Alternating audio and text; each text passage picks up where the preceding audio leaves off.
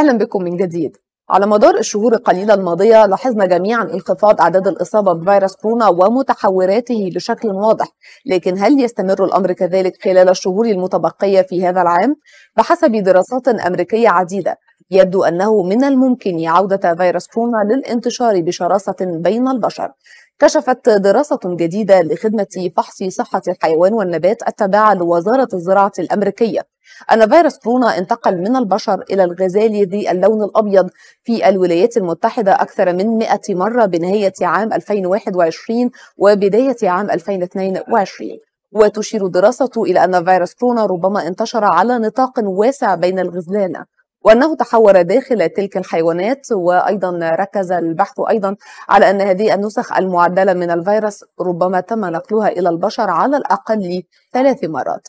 هذا وأظهرت النتائج مخاوف بشأن الغزلان في الولايات المتحدة حيث يمكن أن تصبح هذه الحيوانات مستودعا حيوانيا طويل الأجل لفيروس كورونا وبالتالي مصدرا محتملا لظهور متحورات جديدة من الفيروس. ويعد الغزال ذو اللون الأبيض منتشرا في جميع أنحاء الولايات المتحدة. هذا ونقلت صحيفة نيويورك تايمز عن شو فينغ وان مؤلف الدراسة. نقلت وهو خبير في الأمراض الحيوانية تحذيره بأن استمرار انتشار الأمراض الحيوانية وتطورها في الحياة البرية يشكل مخاطر على الصحة العامة.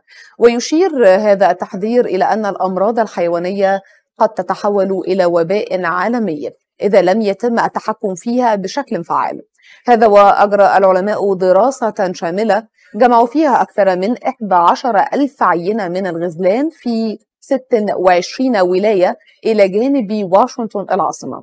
ووجدوا أن ثلث الحيوانات تحتوي على أجسام مضادة لفيروس كورونا وأن 12% تعاني من عدوى نشطة بالفيروس. ووفقا للدراسة ليس هناك دليل على أن الغزلان تلعب دورا رئيسيا في نشر الفيروس بين البشر ولكن انتقال الفيروس من البشر إلى الحيوانات يثير العديد من المخاوف الصحية. هذا لأن وجود الفيروس في الحيوانات يمكن أن يؤدي إلى استمرار التحورات الفيروسية التي قد تختفي لدى البشر. وتؤكد الدراسة الجديدة تقارير سابقة تفيد بأن بعض السلالات المتحورة لفيروس كورونا مثل سلالة ألفا استمرت في الانتشار بين الغزلان حتى بعد ما انخفضت حالات الإصابة بشكل كبير بين البشر.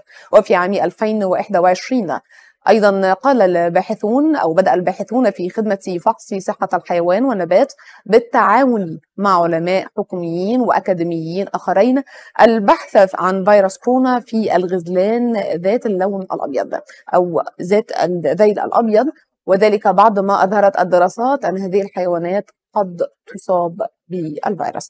كانت هذه أبرز التفاصيل عن انتشار فيروس كورونا ومتحولاته بين الغزلان ذات الذيل الأبيض وكانت هذه أبرز النتائج والمستجدات الخاصة بالتقارير التي نشرت عن هذا الأمر.